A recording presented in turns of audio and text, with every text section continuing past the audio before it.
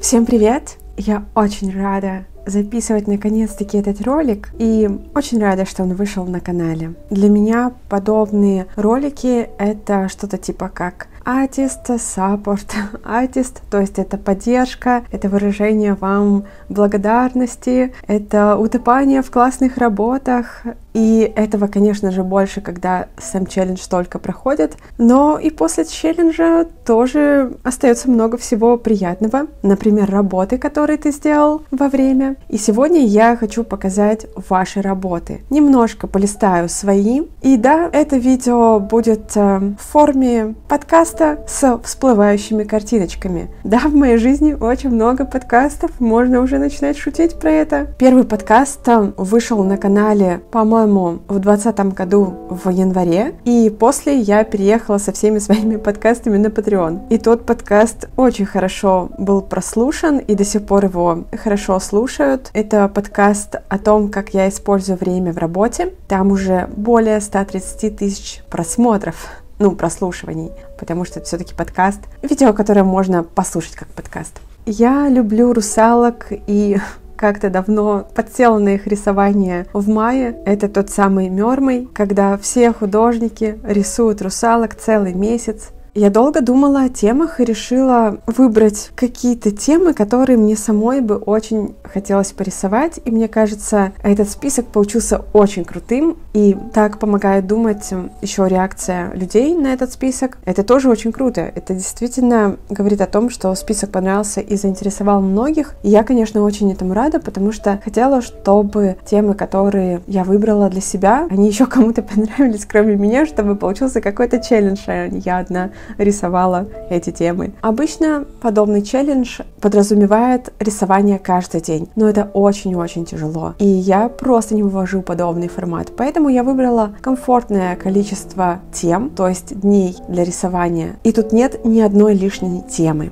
Они все мне близки, они все мне понятны, они все входят в зону моих интересов, и они все-все классные. Отдельно только хочется выделить э, тему Шибари, потому что Я, кстати, до сих пор не дорисовала картинку с этой темой. Возможно, к тому моменту, когда выйдет этот ролик, я смогу вам показать эту картинку, но может быть и нет, потому что я просто максимально все не успеваю. И мотивация в рисовании русалок как-то у меня закончилась и прошла. Ну, очень долго я их пытаюсь закончить и дорисовать. Шибари у меня лежит в наброске карандашном, но вот никак не могу найти время на то, чтобы ее покрасить. Думала, что сделаю ролик с процессом раскрашивания этой работы, но передумала. Итак, вы, я рисовали темный космос, Сейлор Мун, Снежную королеву, ведьмочку, японскую русалку, воинственную, огненную, крипи, кораллы с кораллами, демоницу, пухленькую и шибари. Мне из моих русалок больше всего нравится самая первая, это темный космос. Очень-очень нравится снежная королева, она получилась необычной. Конечно же, я очень старалась в рисовании японской, и неплохо, на мой взгляд, вышла демоническая русалка. К остальным русалкам у меня есть вопросики. Не то чтобы я ими сильно довольна, но и они меня не сильно бесят. Ну, как бы, окей, нормально выглядят. Я выбирала те работы, которые мне очень-очень сильно понравились, запомнились, и такие работы, которые выглядят как серия. Сначала я думала о больших сериях и выбрала для ролика работы тех участников челленджа, которые нарисовали от 8 тем. Но пока я сохраняла и компоновала ваши арты с русалками, я увидела столько крутых работ. И да, это были неполные серии. Это было, например, 5 работ или 4. По-моему, меньше я все-таки не стала выбирать. Ну, мне кажется, это не совсем даже честно и этично по отношению к остальным. И вообще в ролике это не так эффектно смотрится. Короче, много всяких моментов, которые тоже нужно было мне учесть. Но все вот, что мне прям очень-очень сильно понравилось, я добавила с условием того, что это хоть как-то отвечает, э, отвечала моим поставленным целям для ролика, то есть побольше работ. Поэтому, если у вас супер прекрасные работы, но их две, или вообще одна. В этом ролике я их не покажу, просто из-за количества. Но, возможно, ваши работы я добавляла в подборки в Инстаграм. Я уверена, я знаю, я помню, что с работами двумя-тремя точно так было, потому что я запомнила авторов и периодически бегала к ним в профиль посмотреть, что там еще появилось, но ничего не было нарисовано, поэтому я уходила и думала, М, ну ладно, окей, понимаю, всякое бывает. И нужно сказать, что этот челлендж вообще был очень сложным, и я его крайне долго рисовала. Думаю, что как раз то, что я сама долго рисовала, и вас тоже очень сильно растянуло во времени. И это был плохой пример. я поняла, что, наверное, мне нужно заканчивать с челленджами. Я разучилась их организовывать так, чтобы это выглядело как челлендж здорового человека. Я не успеваю сама нарисовать многие вещи в течение времени, которые я ставлю для себя и для всех. И, конечно, вы, смотря на меня, тоже думаете, ну ладно, нарисуем в следующем месяце. И я мало того, что себе расширяла сроки, и вам тоже расширяла сроки, и я не уверена, что это прям большой плюс в подобном челлендже. Возможно, это был даже минус. Честно, вот э, этот русалочий челлендж показал мне, что я больше не буду загонять в себя в рамки того, что нужно обязательно сделать видео, нужно показать всех-всех. Нет, теперь, если я буду проводить челленджи, я буду, наверное, только делать репосты в Инстаграм, делать отдельные посты с подборками, как вот я сейчас сделала пост с маковыми принцами. С маковым принцем будет видео, потому что вот я просто хочу сделать видео, да, вот подобного формата. Но другие челленджи, которые я задумываю в своей голове, наверное, не получат никакого продолжения в виде ролика на канале. Просто потому что это очень тяжело для меня. Очень много времени трачу на подобного плана ролик, и мне жутко неудобно перед вами, то, что я все так задерживаю. Я уверена, что многие ждут и там иногда чекают канал мой в поиске этого видео, когда Женя покажет наших русалок, зачем мы рисовали. И мне не хочется просто себя плохо чувствовать, кого-то подводить, потому что для меня подобные челленджи и участие в них — это прежде всего для меня самой, когда я знаю, куда мне это пристроить. Я не рисую в стол, и я думаю исключительно проектами. Я вот понимаю, что русалок я могу засунуть, например, в открытки. Или, например, из каких-то классных иллюстраций по Инктобре я могу напечатать обложки для скетчбуков. Или я могу добавить какие-то иллюстрации, сделанные в рамках челленджей в книгу или еще куда-то. Тогда у меня есть большая мотивация рисовать что-то и заканчивать это. Честно сказать, для русалок я придумала какой-то проект не сильно интересный. Я хотела сначала артбук, потом я хотела сделать э, открытки. Кстати, открытки я сделала с русалками, но дальше это все не пошло, и к тому же я решила рисовать поска, а с поска у меня все очень тяжело. Когда я хотя бы их комбинирую со спиртовыми маркерами, процесс э, не такой долгий. Я становлюсь дико медленной, когда рисую поска. Не могу их обуздать.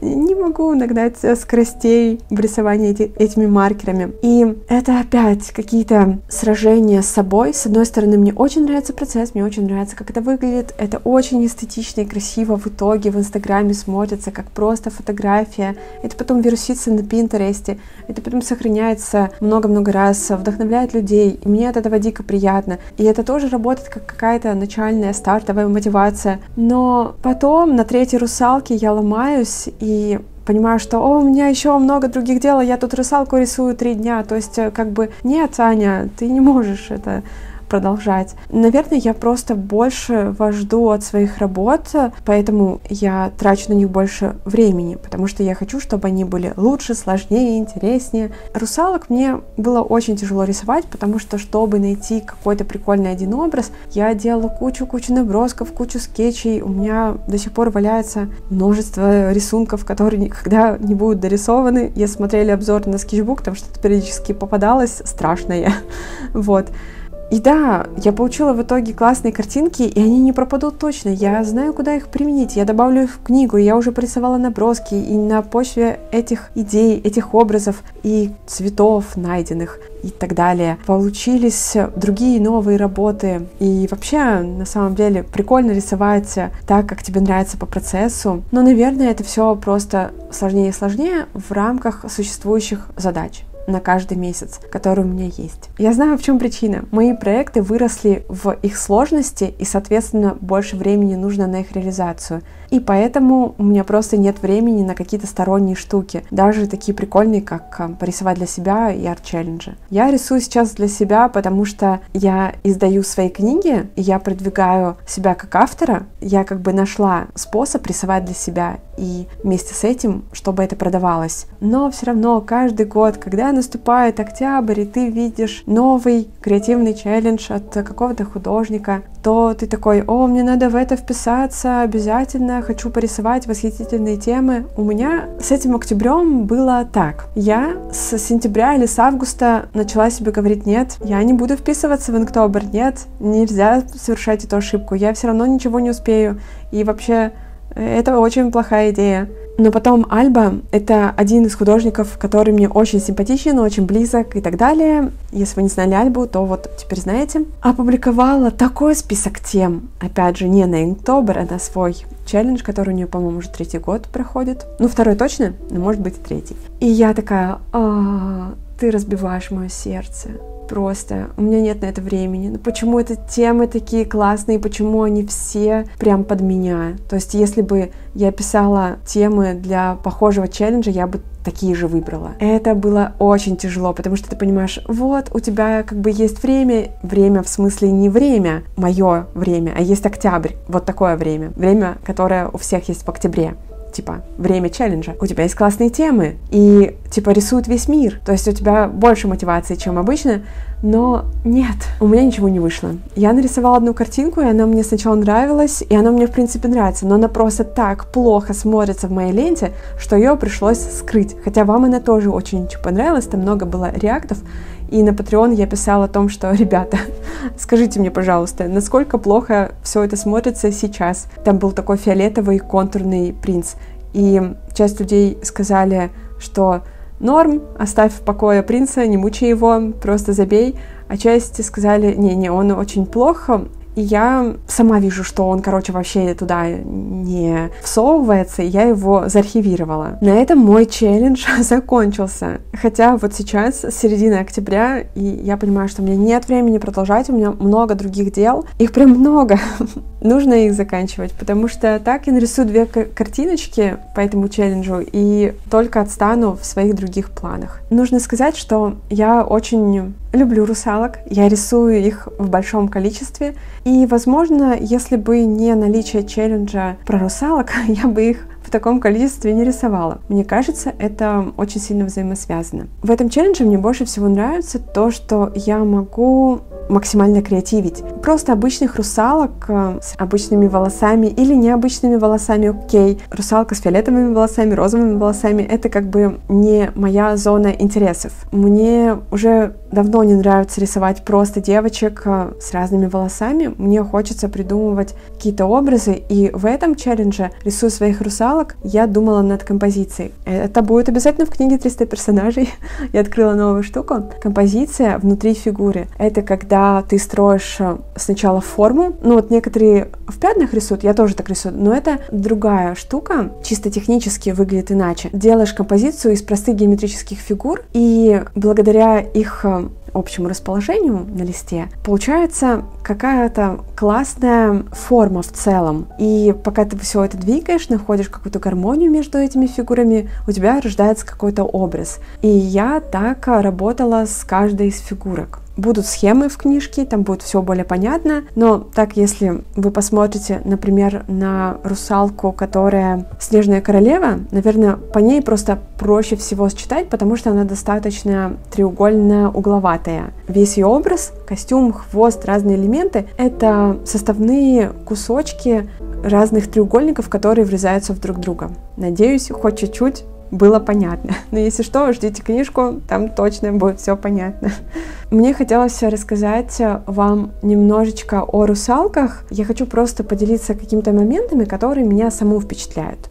То есть это такие вещи, которые мне близки, которые я понимаю, которые я использую в своих работах, которые я пытаюсь транслировать в своих работах, о которых я вспоминаю, чтобы что-то нарисовать или вдохновиться. Вот я думаю, русал, я думаю, вот это вот. Во-первых, нужно сказать, что какое-то время я слушала много разных видеообзоров э, про мифологию и читала разные легенды и из этих всех первоисточников или разных источников я запомнила, что есть русалки, а есть морские девы. И вот термин «морская дева», несмотря на то, что он меньше употребляется, потому что русалка, ну, просто такое родное, знакомое слово, и редко когда требуется какой-то синоним. Но при этом мне нравится, как звучит морская дева или морская муза. И это такой же персонаж вымышленный, который встречается в разных э, легендах э, европейских народов. И по сути это такая же русалка, то есть э, девушка с рыбьим хвостом. И вот тут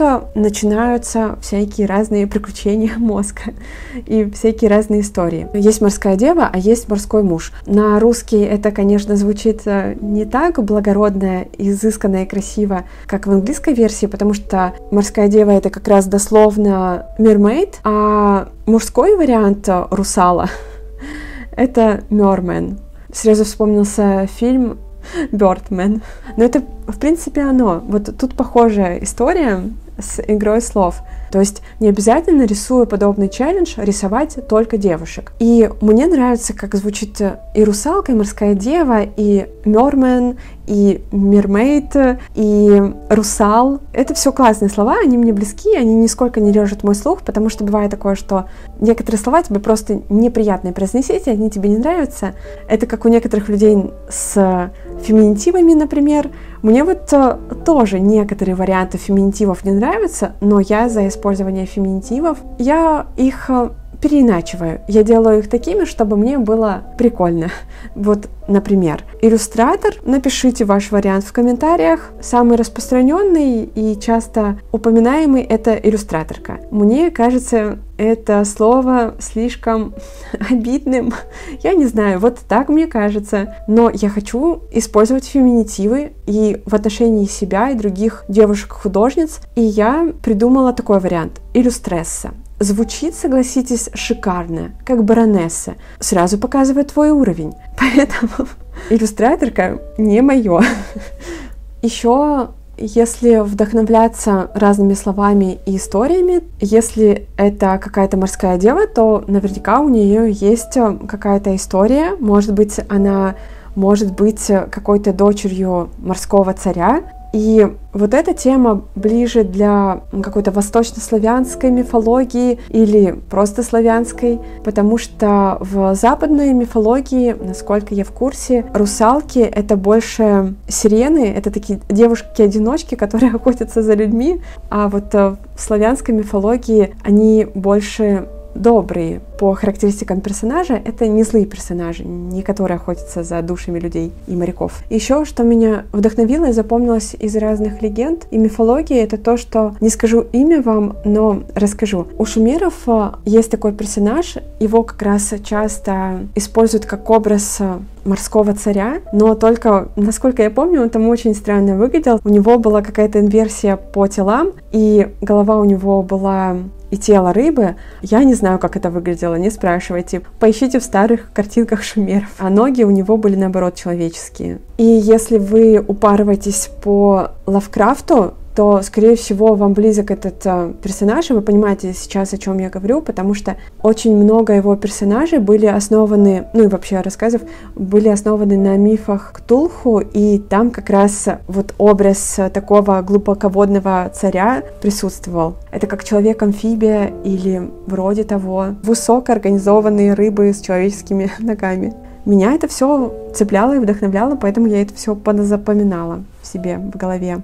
Еще я долго думала о том, что если половина русалки — это хвост рыбы, то он же может быть каким угодно. Это может быть какая-то огромная рыба, типа касатки, дельфина, акулы, а может быть какая-то очень маленькая красивая японская рыбка, например. То есть тут вариантов по визуализации в плане хвоста очень-очень много. И это тоже как бы вторая половина вдохновения от русалки и ее образы. Еще, может быть, помните, русалочка мульт Дисней. Я как-то об этом не думала, но у нее, я вообще давно его не смотрела, возможно, я что-то путаю, но я помню, что у нее был прекрасный голос, это как бы особенность сирен. Например, вот э, в балладе об Одиссее был такой момент, когда его и всю его команду своим прекрасным пением затянули в какой-то ужасный бездна остров э, как раз сирены. И можно тоже использовать э,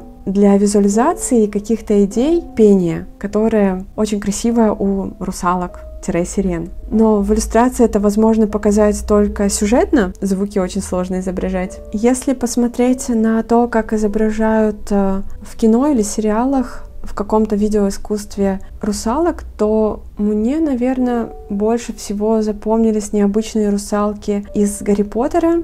Правда, было интересно до того, как я их увидела, как же они там будут изображены. Так я больше не помню прям что-то необычного в плане русалок. Может быть, вы что-то вспомните? Поделитесь, пожалуйста, будет очень интересно. И как раз говоря о необычных русалках, я вспомнила, мне очень нравится это слово, шелки это человекоподобные тюлени. По сути, те же русалки, только как будто бы другого вида. Еще говоря про русалок, нужно тут вспомнить мульт Лука от Pixar, выкупленный Диснеем.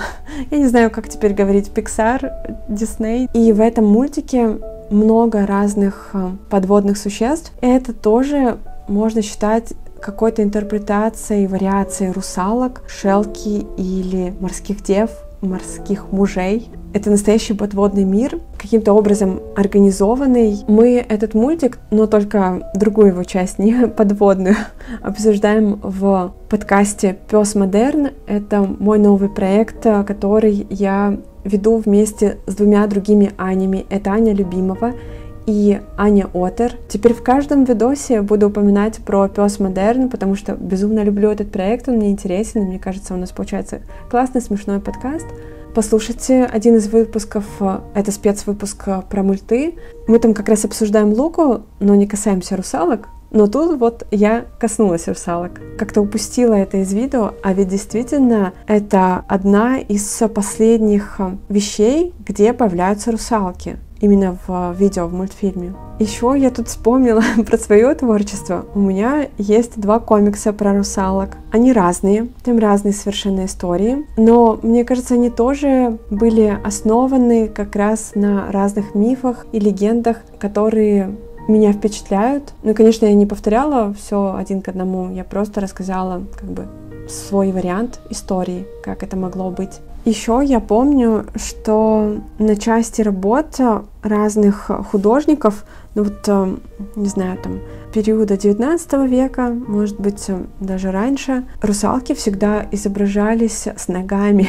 И я не понимала, почему ноги. А потом я тоже что-то почитала, и оказалось, что это нормально. В мифологии в части культур считается, что русалка, ну вот ее каноничный образ, это просто красивая девушка с ногами, которая живет в воде, но только она полностью выглядит как девушка. Я вот, кстати, не знаю, как там у них с водой обстоят дела, но это просто красивые, всегда обнаженные девушки, которые во время полнолуния поднимаются на поверхность. Ну, по крайней мере, я помню такие истории. Еще говоря о русалках с ногами, хочу вспомнить мавок. Это из украинской э, мифологии, славянской, можно сказать так, славянской. Еще мне нравилось очень слово «ундина». По сути, это тоже одна из разновидностей, но только в другой культуре. Так именуется мавка или русалка. И в украинской мифологии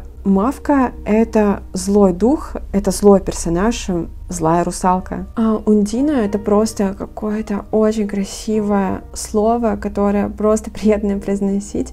И насколько я помню, оно в переводе, возможно, с латыни или какого-нибудь похожего мертвого языка означает волна. Наверное, поэтому это так красиво. Это такое же вымышленное волшебное существо женского пола. Мне очень нравится такой элемент, который обычно добавляют мавкам. Это венок. Очень-очень красивый венок и какие-то традиционные платья с очень красивыми узорами. И обычно мавки тоже держат а, какие-то красивые букеты цветов или у них огонь в руках. То есть образ очень-очень продуманный и невероятно красивый получается. Если попробовать а, описать русалку и собрать какие-то самые распространенные характеристики, то это длинные прекрасные волосы, она всегда находится в воде. Это, скорее всего, рыбий хвост. Она молодая, красивая, возможно, может петь или управлять водной стихией. Я, кстати, думала о русалках, и из всего, что я читала, я не нашла в японской мифологии ни одного персонажа, похожего на русалку. Несмотря на то, что это остров, окруженный большим количеством воды, и было бы как-то вполне логично и, наверное, обоснованно исторически придумывать несуществующих персонажей, которые выходят из воды. Ладно, Годзилла есть, окей. Но Годзилла — это не совсем русалка. И есть куча всяких разных а, существ в японских сказаниях, которые меняют свой внешний вид и вообще как-то очень странно выглядят. Например, девушка с длинной шеей, или девушка с разорванным ртом, или девушка наполовину паук. Но вот ничего с хвостом я не помню. Опять же, если я ошибаюсь, то поправьте меня. Что касается историй, связанных с русалками, то тут можно много всего придумать, ну и почитать, конечно же. Меня всегда вдохновляли те вещи, которые либо у них есть, либо которых у них нет. Вокруг ног можно заплести очень много классных историй. Например, как русалки получить ноги, или то, что она может э, только один раз в год выходить на берег, и у нее появляются ноги в какой-нибудь там определенный день. Или вот есть русалочья неделя.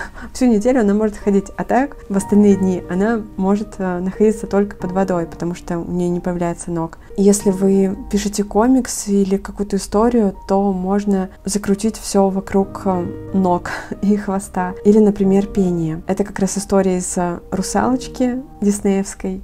Тоже такой обмен если ты хочешь что-то получить, чего у тебя нет, то дай что-то, что у тебя есть. И, конечно, это всегда очень неравноценный обмен. Еще можно использовать э, то, что русалки могут э, красть детей и превращать их в русалок или русалов, или молодых женщин, или молодых парней, или, например, они могут продлять себе жизнь за счет того, что будут а, топить людей. Мне нравится, когда у персонажа есть какая-то мотивация, то есть он убивает почему-то, потому что хочет продлить свою жизнь, либо он хочет спасти кого-то, а не просто потому, что он злой. И раньше я об этом не задумывалась, но потом, когда я начала писать комиксы, я только об этом и думаю. Надеюсь, что эти две комикс-истории, которые я проиллюстрировала и придумала, не последние, и я еще что-нибудь сделаю с русалками. И, наверное, на этом все. Буду с вами прощаться. Хочу сказать огромное спасибо ребятам, которые поддерживают меня на Patreon.